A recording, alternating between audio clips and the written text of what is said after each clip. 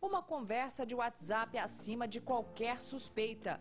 Golpistas clonam o aplicativo de mensagens e se passam pelas vítimas entrando em contato com parentes e amigos para pedir dinheiro emprestado.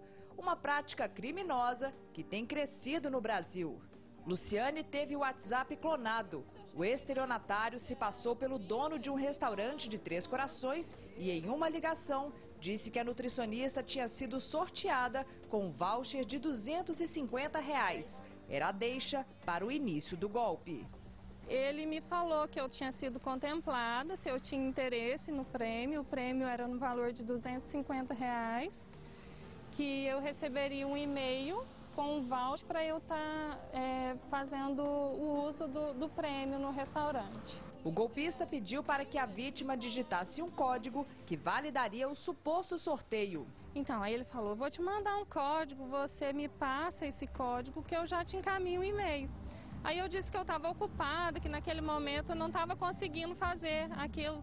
Aí ele falou, ah, então você não tem interesse e tal? Eu falei, não, eu tenho interesse, é da minha cidade, eu sou cliente, eu gosto. Não, então me passa esse código agora que eu já te encaminho o e-mail.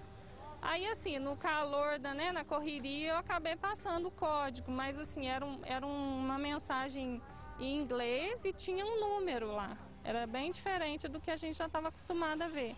E foi depois que Luciane digitou o código que ela percebeu que o aplicativo de mensagens havia sido clonado. O WhatsApp desapareceu do celular dela por cinco horas tempo suficiente para que o estelionatário praticasse o golpe. E assim que eu desliguei, que eu desliguei a ligação com ele, eu recebi uma mensagem no meu celular dizendo que o meu, o, meu, o aplicativo estava sendo utilizado em outro aparelho.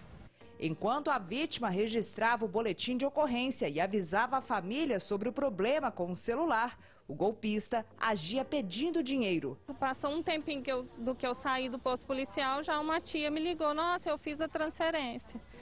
E, e aí tinha uma, uma outra pessoa falou, nossa, eu já estava quase fazendo a transferência também, então deixa eu avisar fulano que fulano também está acontecendo isso. Então, assim, foi uma da minha família e duas amigas que fizeram as transferências. Então, foi um total de 6 mil reais?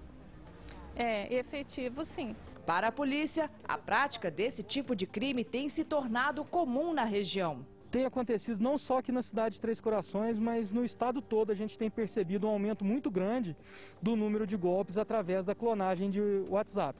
Segundo uma empresa especializada em crimes cibernéticos, só no primeiro trimestre deste ano no Brasil, os golpes virtuais cresceram 131%. E com a pandemia, mais pessoas estão em casa, consequentemente usando ainda mais a internet. A polícia orienta que quem for vítima de algum tipo de golpe, registre imediatamente um boletim de ocorrência. Existe uma modalidade de senha que você coloca no seu aparelho que é muito simples você tem que seguir alguns passos e fazer uma valida, validação em duas etapas, para que a pessoa, ao obter esse código, caso você caia no golpe, ela tenha que inserir uma senha que você criou. Aí ela não vai conseguir clonar o seu WhatsApp. Nunca deposite se você não tiver certeza absoluta, não tiver uma segunda confirmação de que é a pessoa que que tem um relacionamento de amizade com você. Segundo o dono do restaurante que teve o nome usado no golpe, os sorteios verdadeiros do estabelecimento foram suspensos por tempo indeterminado.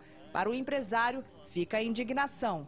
É, a gente fica muito chateado porque a gente, a gente nós mesmos sentimos lesados também pelo nome, tá, vai, vai, sendo difamado o nome do pessoal e são clientes nossos que tomaram esse prejuízo. É, é muito ruim, então por isso a gente, é importante a gente estar tá aqui esclarecendo. A vítima deixa dicas para que outras pessoas não caiam no golpe como ela. Que duvidem, né, que questionem né, as ligações, é, outra coisa também que eu imagino que eles tenham pegado informações de aplicativos do Instagram, do tipo telefone, a cidade, os, é, os lugares que você costuma ir. Então, assim, quanto menos informações colocar nesses aplicativos, melhor, né?